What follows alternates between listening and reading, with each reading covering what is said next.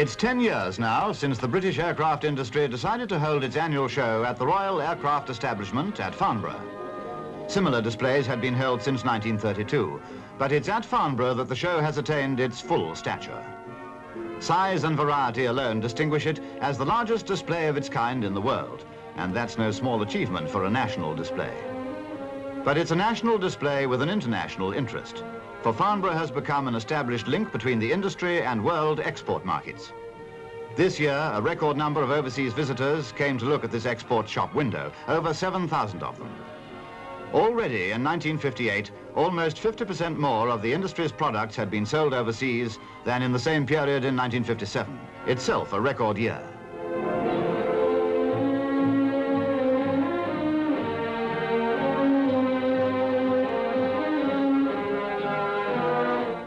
Let's have a more detailed look at the aircraft on show.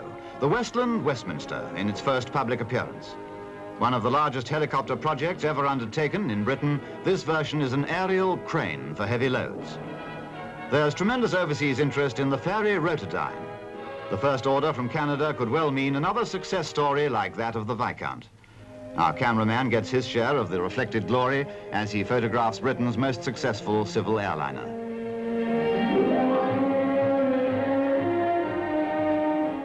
Now here's something which isn't yet for sale, but which is attracting widespread world interest. It's the Short SC-1, a research vertical takeoff machine. It's a design to study the transition between hovering and forward flight. A significant machine pointing to the future development of flight.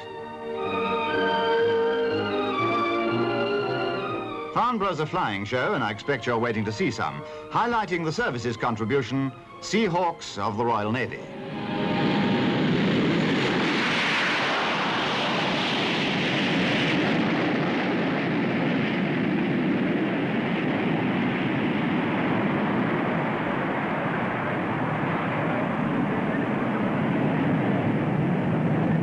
The flying teamwork of these mass displays is one of the most memorable features of the show.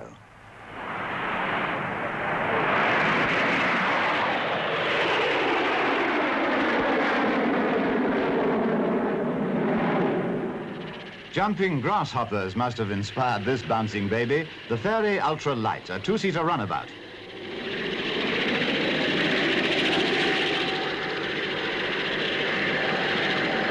Its handiness is shown by the ease with which it takes off and lands on a moving lorry. With its first flight only a month or so earlier, the Saunders Roe P531 is Britain's latest helicopter. It's a five-seater general-purpose machine.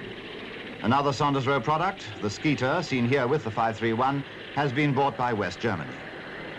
The Westland Wessex, in production for the Royal Navy, is a very advanced anti-submarine helicopter. Have you ever seen a helicopter do this before?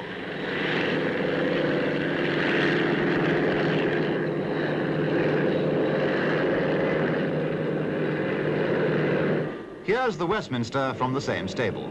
Looking like some predatory dragonfly, it's powered by two Napier Eland turbines. This is the utility version, which can lift a load of over six tons. As a passenger or troop transport, it has seating for 46, a really neat piece of engineering.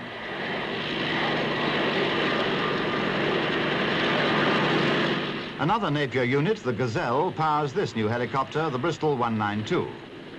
Mechanics cover the air intakes, leaving only one power unit in action.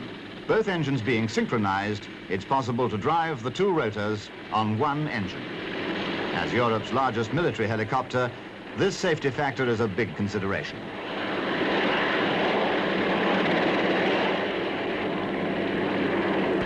One of the brightest stars in the Farnborough firmament is really two machines in one. Fabulous is a well-worn word, but the Fairey Rotodyne gives it a new significance as the world's first vertical takeoff airliner. With the rotor idling, it flies like a fixed-wing aircraft. For takeoff and landing, compressed air from the two turboprop engines is ducted to pressure jets on the rotor blades. It's among the most dramatic machines ever shown at Farnborough.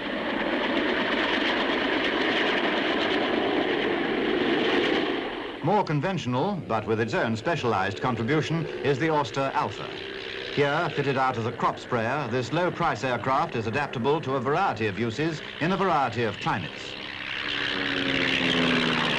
Hunting aircraft present the latest version of their Jet Provost, in production for the Royal Air Force as the world's first basic trainer for jet pilots. By replacing initial training on piston engine planes, jet pilots reach a far higher standard faster. Here's a slow roll by numbers. The docile Provost is on the pilot's side all the time.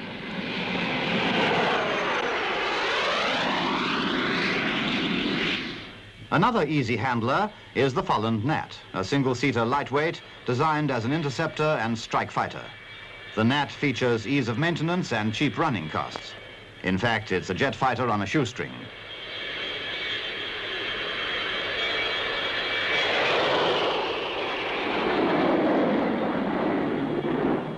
Another service machine is the Fairey Gannet for the Royal Navy.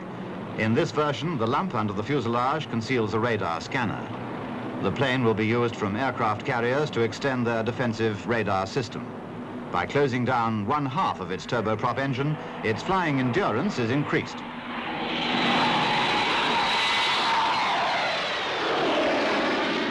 Now let's step up the speed with the well-named English Electric Lightning, or P-1 as it used to be called. It's an all-purpose fighter ordered by the Royal Air Force. Its Rolls-Royce Avon jets give it a top speed of around 1,500 miles an hour, while it can be fitted with a rocket engine for high-altitude flying.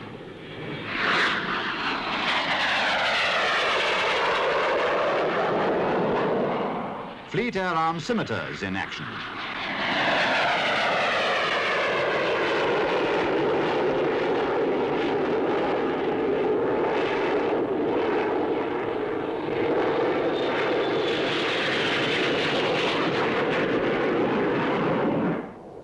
Hawker Hunters have been adopted by the air forces of Belgium, Sweden, Denmark, Peru, Iraq, Holland, Switzerland and India.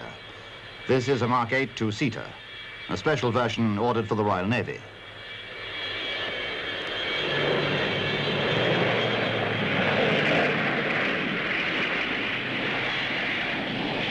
Our cameraman catches a close-up of a Javelin Mark 7. Although a fighter, it carries a heavy armament of cannon, rockets and Firestreak guided missiles. Guided missiles are a priority in Britain's defence programme, so naturally they're featured at Farnborough. The Bristol Bloodhound is a surface-to-air anti-aircraft weapon. With its clutch of booster rockets, it looks formidable enough even here on its launching platform. But we can get a far more impressive idea of its capabilities if we watch a film of Bloodhound on the scent.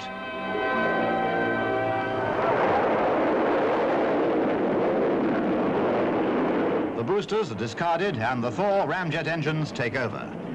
A radar beam projected from the ground is reflected from the target to a receiver in the missile. Bloodhound homes on this reflected signal. Here's the result.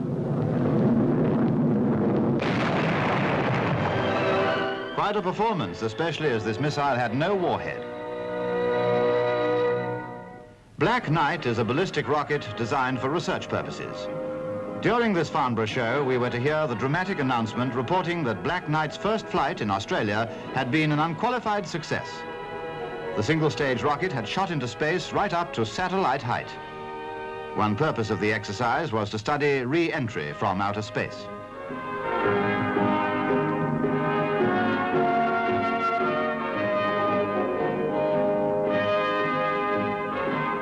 Now for Britain's latest warplane, the first of a new type. It's the NA-39. And as you'd expect, it caused a great stir among the Farnborough audience.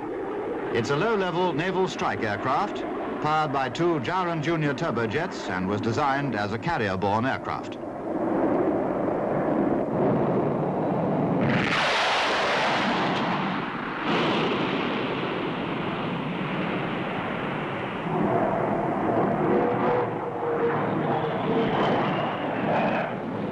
In contrast, and further stressing the variety of planes at Farnborough, here's Hunting Percival's President, a passenger and freight transport. Britain's supremacy in the civil airline field is largely due to machines like the Vickers Viscount, the world's first turboprop airliner. The Viscount's success story is written in many languages, for some 350 are in service in 30 countries all over the world.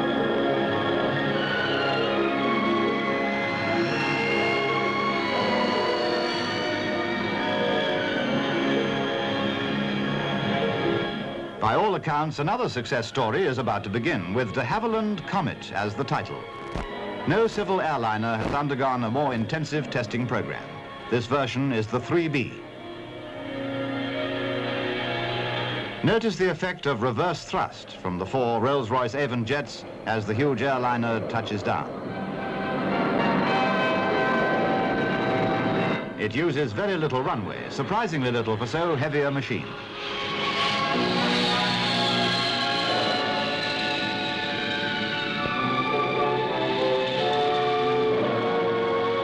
Now, the Comet 4.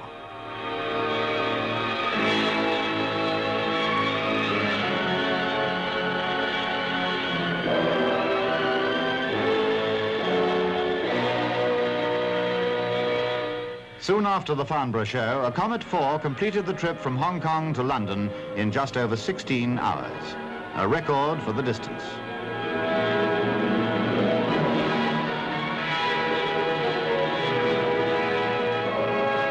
The Vulcan V bomber, another big fellow. But watch how responsive it is. The Vulcan was the world's first four-jet delta wing bomber, and it's a mainstay of Britain's V-bomber defense force. This latest version, the B-2, gives greater range, altitude, and performance.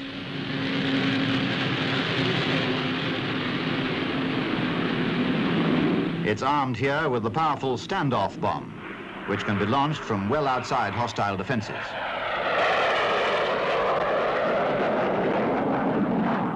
Another of the V-bombers, and the biggest of them all, is the Handley Page Victor. It certainly looks businesslike to judge from the sinister expression on its face.